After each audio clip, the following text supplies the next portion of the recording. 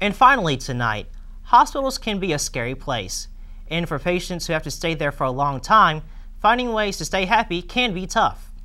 Insight's Audra Shreve shows us one prescription for putting a smile on patients.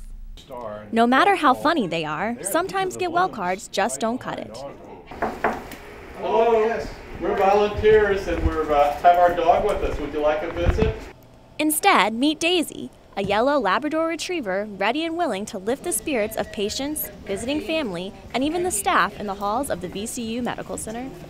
Yeah, when we walk in, uh, into a room or into a visiting area with the groups of people, it's, it's fun just to look around the room and see everybody because they're focused on Daisy. Daisy is part of Dogs on Call, a therapy program from the Center for Human Animal Interaction. Daisy and 30 other dogs in the program come to the hospital at least twice a month with their owners to spread good cheer and restore normalcy to the lives of patients. Aren't you beautiful? In order to join Dogs on Call, candidate dogs have to be over a year old and go through a series of tests. Daisy joined the program only a couple weeks after her first birthday and has since become a vital part of the Dogs on Call team. One of the top dogs in the program, Daisy was selected to be Miss May in the 2011 Dogs on Call calendar which the Center for Human Animal Interaction uses to fundraise. Proceeds from these calendars and donations are the center's only funding for its programs, including Dogs on Call. Daisy and the other dogs make more than 500 visits a year to the VCU Medical Center.